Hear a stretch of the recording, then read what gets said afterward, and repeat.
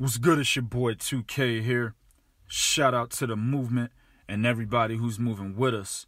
And if you haven't already done so, go ahead and check out the website 3kingsboxing.com, which is actually taking up a lot of my time. I haven't forgot about my supporters. I appreciate everybody who supports the prodigy of boxing talk and everyone who is supporting the movement as well.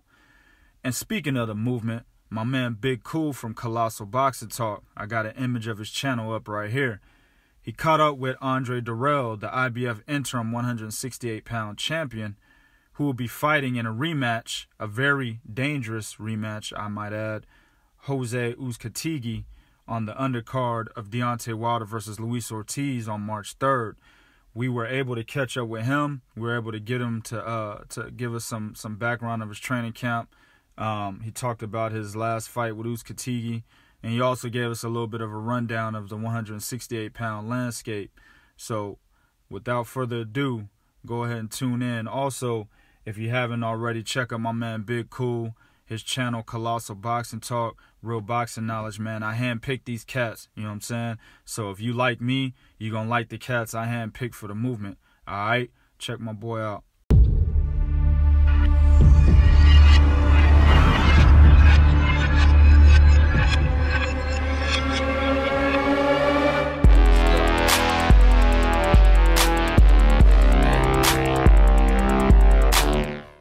What's good, YouTube? It's your boy Big Kool coming to you from Colossal Boxing Talk. I'm here with my boy 2K from the Prodigy of Boxing Talk. Excuse me. This is uh um the interview we're doing with Andre the Matrix Dirrell. As you know, Colossal Boxing Talk and Prodigy of, Prodigy of Boxing is associated with Three Kings Boxing under the Movement umbrella. We're here again with special guest Andre the Matrix Dirrell, the uh, super middleweight IBF interim champion. How you doing today, champ? I'm doing pretty good. Can't complain, man. Having a great camp. Okay, okay. Uh, to start it off, how's your mindset going into this rematch, man? Because we all seen what happened uh, in May. Right. It seemed like you was coming on in that fight, and then at the end of the eighth round, uh, Uzcategui caught you with a three punch combination. Seemed to, uh, you know, hurt you badly. Uh, what was your uh, mm. what's your mindset going into this rematch? Um, I was prepared two weeks ago, man. Three weeks ago, man. I was really ready, and I'm talking mentally. Um, uh, there's always things fighters need to work on, and uh, there's a few things that in my arsenal that we're um, perfecting, uh, not changing up, but perfecting. Uh, meaning Virgil and I, um, with my game, and um, um, by the end of next week, man, you guys see what it's all about. So I'm really, really amped about this situation, man. Mentally, I'm more focused than ever, and I really can't wait to show my uh, display my talents. Okay, okay. Another question.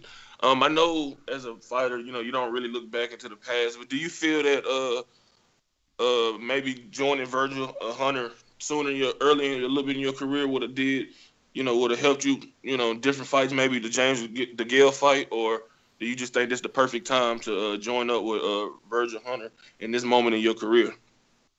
I mean, you're really right, man. There's no need to bring up the past. There's nothing back there for me to gain. You know, um, I'm here now. Uh, it's a blessing to be here now. He's picking up where my grandfather left off, and I believe he'll sharpen my skills like I need him to be. All right, 2K. All right, so you're the IBF interim champion we're gonna get to a little bit of the fuckery of this show. so you know, there's some, you, yeah. you know, there's some food at 168, right? oh yeah, most definitely, most definitely, most definitely. I I know I, I know you know who I'm talking about, and uh, he's a good guy, by the way. You know, but this is what we do. You know what I'm saying? We talk about everybody, and we're brutally honest. Um, Caleb mm. Truax is a is a pretty good fighter. I give him 100% credit for beating James DeGale. I remember when we mm-hmm. we interviewed you last year, there was uh, a few things that you expressed. One was getting that rematch with James DeGale. You really wanted that. Mm-hmm. Um, also, mm-hmm.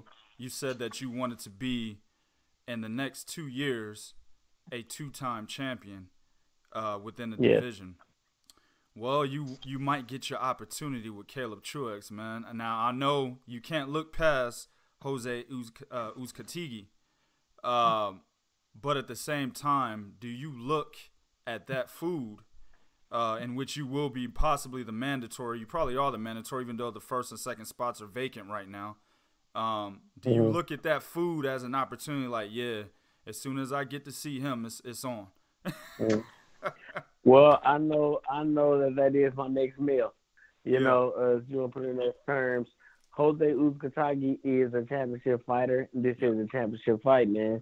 Yep. So this is the fight I'm looking forward to now. It's not a, it's not a fighter's job to look past uh, any opponent he faces, man. It's not, and it's not, it, it's really not wise to, man. It's a, Right. um, it's a beautiful thing to be confident, to, uh, to express your talent and your skills and display them and think that you're on top of the world, man. But this is boxing, man. Anything can happen, man. We would all love to be walking around Floyd Mayweather's record um, with his pizzazz, you know, um, and with, with, with his funk, with his funk. You know, he has a great attitude towards fighting, but that's not realistic for fighters most for, for the most part, man. We're in there. If, if if if you're if you're stepping in the ring for a championship fight, chances are um, the guy you're stepping in with, he's just as hungry as you. He's just prepared and just as ready and he's just as equipped, man. Right. Um, the true talent in those fights, it has to stand out. So I'm not looking past Caleb Truax at all, man. Um, I'm not looking at him. I see him as my next meal, the next opportunity that I have to the plate. But as far as I'm concerned, this fight right here is the championship fight, and I believe I'll reign after that, man. Continue Word up. on, continuing on. Word up, word up. All right, so you you got Virgil Hunter in your corner now. Um, Uh-huh. I know you're training with Andre Ward. How's that? I, I know you got to be having that man in the ring with you, man, for sparring. Yeah. he yeah, no, no, no, I'm not. I'm not actually, man. That would be great though, wouldn't it? But um Jose Uzcategui, he's nothing uh like Andre Ward. So honestly, man, unless Andre Ward would adapt to his style, then I wouldn't get that same fight. No. You know, I have some good guys in farm right now. I'm in there with Fonfara, who I believe is honestly better than Jose Uzcategui. He's definitely bigger. He came in at 220 when we first started sparring Mm, and uh, he's dropped his weight.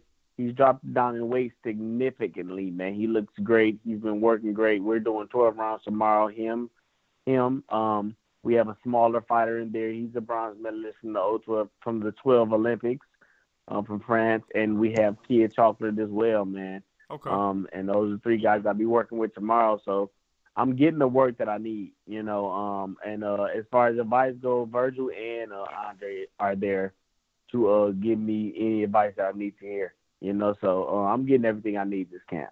Word up, word up. I actually like the uh, having Peter uh, Quillin in your camp. That's actually a pretty good, um, or let me say, emulation of uh, what Yeah. Uzcategui's able to do in the ring. That's a good one right there. Yeah, There's a couple things is I want. strong guy as well. Yeah, yeah, exactly, exactly. There's a couple things I want to shoot out at you, uh, particularly what I seen in the first fight, some issues, and I don't know if you remember uh, the last time we talked, man. I, I I was upset with you last time because of the the Andre Mhm. uh, the um, jeez James DeGale fight, excuse me, and uh, Mhm. we kind of went at it, or I kind of went at you a little bit, gave you some uh, what I had seen, some negative things I seen in that fight. Same thing here. Yeah, Uh, of course, you you were in the southpaw stance. You can definitely switch. Mhm. You can also fight in the orthodox stance. Um, but from what I had seen, the southpaw stance wasn't really working to the to the effect in which that we would both uh, would have liked it to work. I saw that uh, Uzcategui was was perfectly placing his foot on the outside, and uh, that Mhm. kept you in range, and it kind of kept you off balance at times, man. And uh, also, Mhm. I seen you retreating to the ropes a lot, and that gave Uzcategui opportunities to to tee off on you while your back was on the ropes. So that did. yeah, and uh, another thing is uh, you would throw, let's say, a jab to the body, and as soon as you do that jab to the body, which is excellent, this is something I try to tell a lot of the young kids they need to start doing because it stagnates your opponent when you hit him in the solar plexus Mhm. like that. Um, when you did that, he would come over the top of your jab, and when he would come over the Mhm. top, he would throw a barrage of punches. You know what I'm saying? Maybe Mhm. maybe I'm cheating, Mhm. giving you advice. no, no. Everything you're saying, I've already peaked games uh, uh, weeks ago. Okay. Really a month, easy. No doubt. You know, I've watched the fight. I've watched the fight, like I said, five, six, seven times, man. Um, uh, one thing Uzcategui done really well is when I would shoot my, uh, I would shoot the one, two, and at the end of the two, I would kind of lean forward. Yep. And uh, he would come right. He would time me to come right over the top with his right hand, just to line up the hook. Though the right hand was never a devastating punch he would throw, he just timed it really perfectly to be able to shoot off the left hook, and that and that caused him to square up a lot. But I didn't take advantage of those situations. Instead, when I shot the shot, I was committed to getting back out to the outside, and I would I would raise up and, and definitely do that the wrong way, man. Um, and that caused for opportunities like he did when he shot shot off barrage of punch, standing in his face, yep. you know, putting my back against the ropes and actually saying that I can watch that fight literally and laugh harder than you did than you did. Yeah. You know what I'm saying? Or be as disappointed as you were. Yeah. You know, when I look at the fight, man, and I, I, I watch the fight now and I smile because I know the guy that I'm bringing to the fight this time around. Uh, he won't have a chance. Literally, man. They, they'll be like, "Where was this guy the first fight?" You that's know, uh, and that's what I'm looking forward to, man. It's not so much as um, um, um, uh, getting this victory. It's regaining who I am. You know, that that that that that that fighter who is elusive, who's quick, who's fast, who knows how to use the ring. You know, um, I let a lot of that go, but I went through a six month camp, like I said before, man, because we couldn't get that fight set like we wanted to. And I had a really hard time finding the opponent, and um, it was just difficult setting it up, man. He has a hard job, man, a very difficult job in front of him, man. Um, so uh, it was hard for us to get it together. You know, in the last, the, after four months and two failed training camps, yeah. literally I did two full training camps and and they both had fell off. Um, I've been uh, in three uh, training camps uh, that that that fight. Right. So it really did number on me. And I'm calling Andre Ward the last uh, month of the uh, of the camp of the the this is the sixth month, asking him what do you think I should do because I've been reaching my peak and then falling again, reaching my peak and falling again. And he advised me to just take two full weeks off, man, and then resume um, probably a week and a half I mean, a two, a two, two and a half weeks after, man. You know, but I shouldn't do nothing, so I did. I rested, and I came in that fight, and I was a very flawed fighter.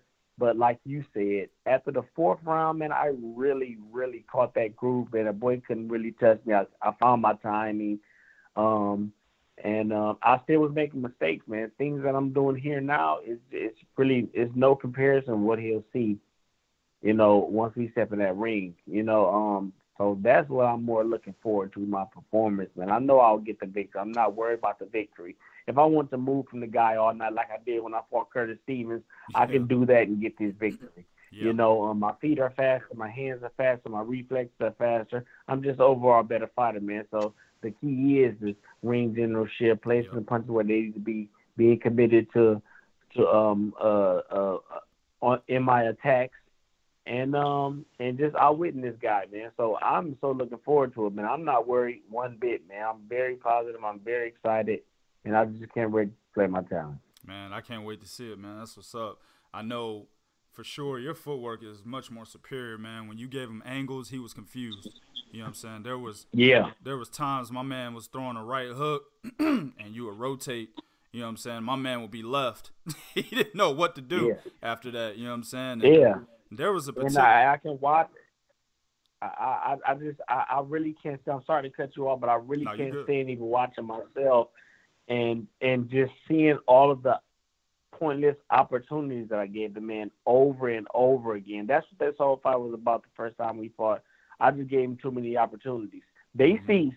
Like I said, after the fourth, fifth round, they ceased, and um, unfortunately, in the mid in, in the midst of uh uh definitely comeback because they had they said they had him two rounds before he uh illegally hit me after the bell got disqualified. Yeah. Um, um, he wasn't touching. My time was great, and I was standing too tall.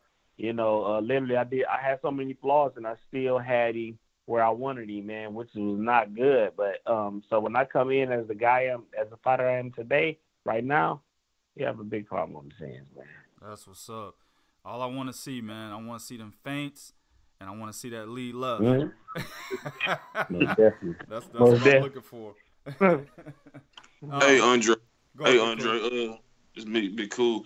It seems like I know. Go back, going back. Um, in a fight with James DeGale, in, in this fight with uh, Uzcategui, it seemed like you uh, started late, like you said after the fourth round. What do you need to do to Mhm. avoid, um, you know, a late start? Because, like I said, once you know after the second round in both those fights, it seemed like the Mhm. momentum was, you know, definitely going your way, and you was winning. You starting to, you know, Right. turn the fight around. Um, what what do you need to do to you know jump out early? You know, get that momentum going from the first round. So you know you don't want to have to play catch up. You know what I'm saying? Because like I said, the second half Yeah. you dominate. You know, the second half of the fights, but Yeah. I know you want to do that early on in the fight. So what do you need to do Mhm. to um, you know set the momentum early? Well, you know, when it came to the first round was pretty much pretty good to me. Um, it was a slow start, nevertheless, but I know I won that round. And that second round, I was telling myself, man, don't let them put me on the mat. I don't even know why it was on my mind like it was. Cause I wasn't thinking about his power or anything, never in the camp. I just understand why it was on my mind. And he put me in the mat. I got up off the mat and said, God damn, I got dropped. You know what I'm saying? So Yeah. um, um, I think I think that I think that one right there, that was the whole cause of the whole fight that we ended up having. Um, me and DeGale and uh, Uzcategui, man, he hurt me with a, a a shot in the uh in the temple, and uh that definitely messed with uh my in the equilibrium, and that definitely messed with my with my uh, uh with my stance. He was he was he remained long. I remember him punching, throwing throwing a barrage of punches, and he was still missing, man. He was still missing, and I was hurt.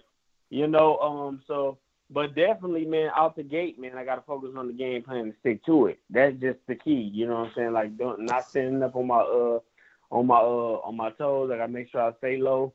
And boxing guy, man, simply it, can- it can go slow. I, I believe a fight doesn't start until after the first four rounds, man. So they can have you tied up. They can have you down one, down two. He has to finish those. He has to finish eight rounds after that. And I don't. I for one won't won't believe he'll be able to do so.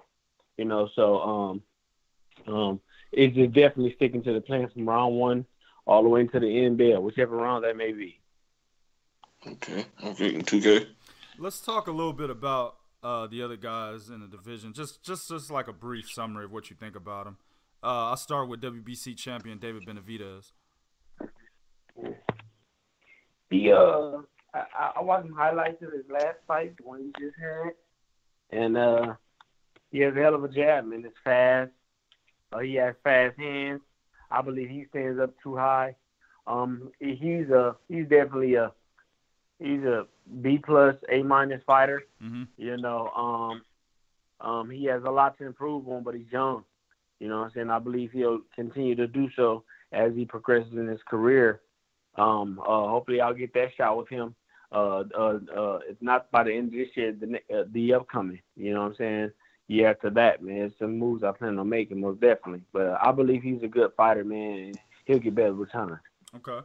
WBO champion uh, Gilberto Zurdo Ramirez. Um, I only saw highlights of his fight uh, with um, Arthur Abraham. Mm-hmm. the the fight that he had won for the belt.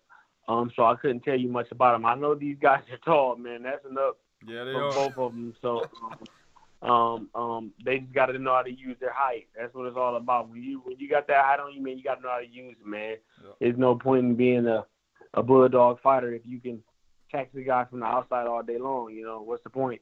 Um, but um, uh, from what I've seen, the highlights that I've seen, that's the only thing I've seen. I believe he's a pretty good fighter as well. Okay. And then uh, I'll ask you about Caleb Truax, even though we talked about him a little bit earlier. Mm-hmm. Um, Caleb Truax, man, he is he's blessed to to have that belt right now. He's blessed to have that belt right now. I, I I gotta say it, you know.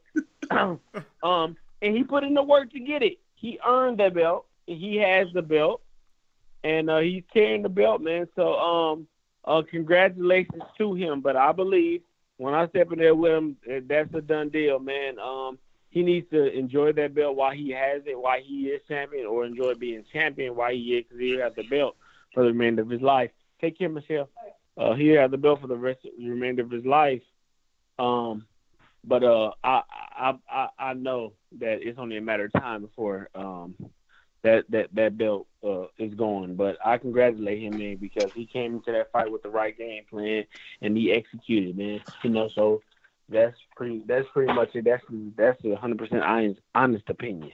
Okay, and then last but not least, you just saw uh, the supremely overhyped Chris Eubank Jr. lose to George Groves in the uh, semifinal of the WBSS.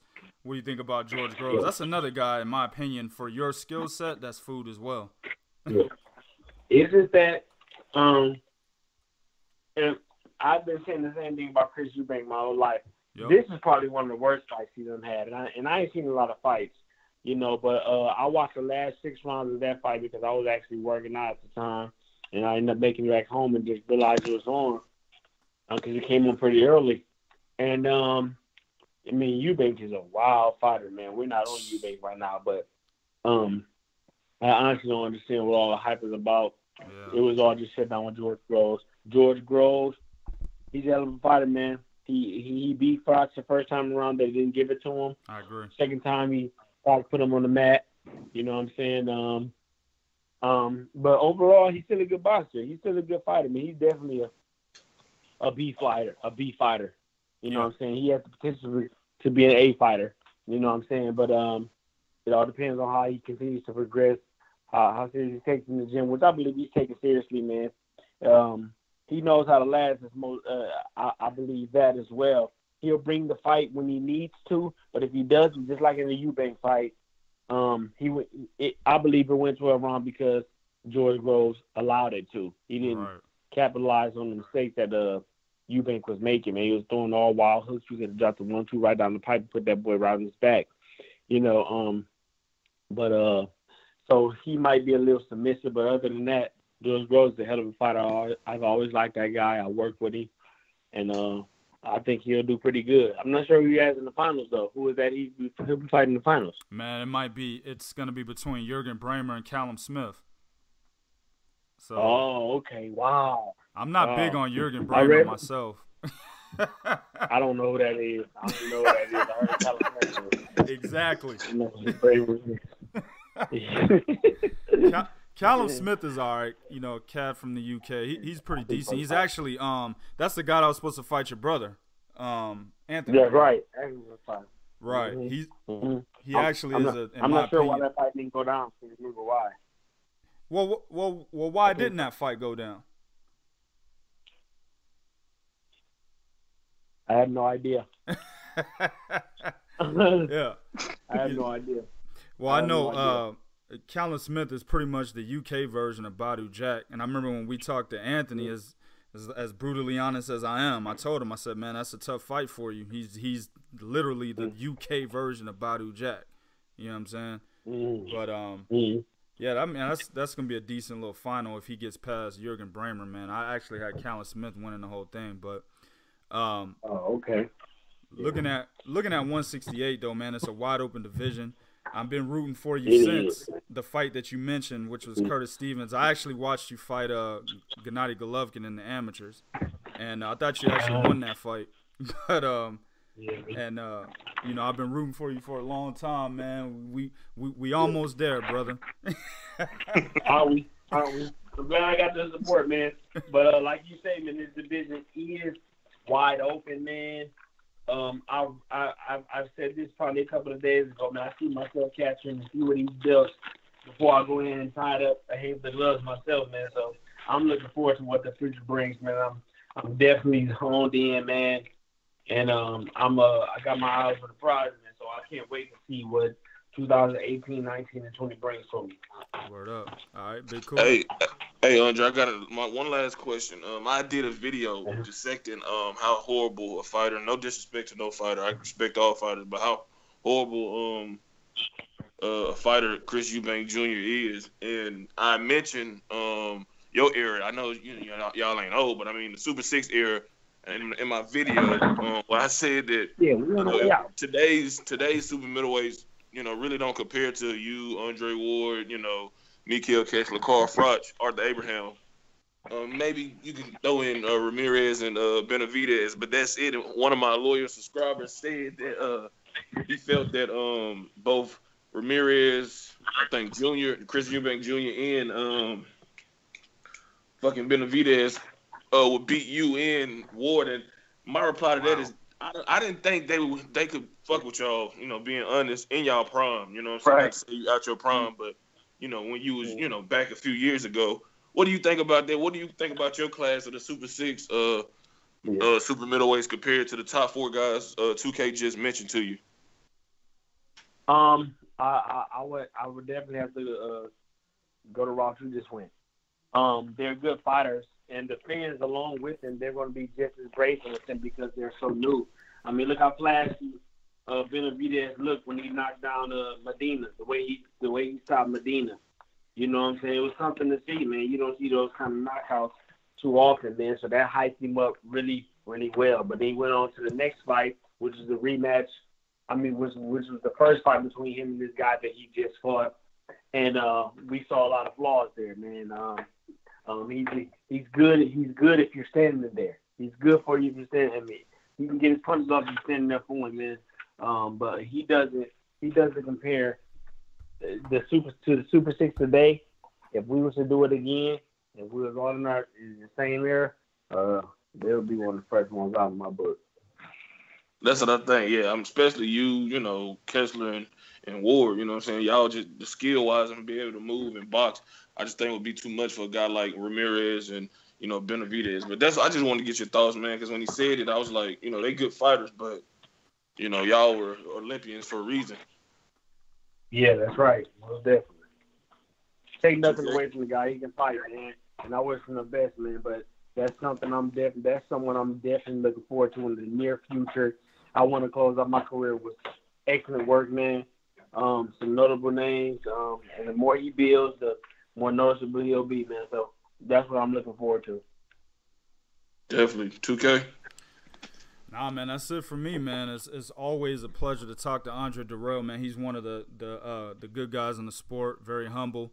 Um, I talked to a lot of different boxers, trainers, um, managers, etc., and and uh, he's one of my favorite to talk to, man. Big ups to him and good luck on March third, my brother. Thank you so much, man. I really appreciate you. No doubt. Exactly, man. Hey, thank you for taking the time out your busy schedule to join myself in 2K. Like he said, we wish you the best of luck. We'll be tuning in live on Showtime um, March 3rd. Good luck, man. And, hey, after you get that victory, we can do this again. Hell yeah. All right, most definitely. I'm looking forward to it. I'm definitely looking forward to it. All right, family. Mhm. My man. Take care. One.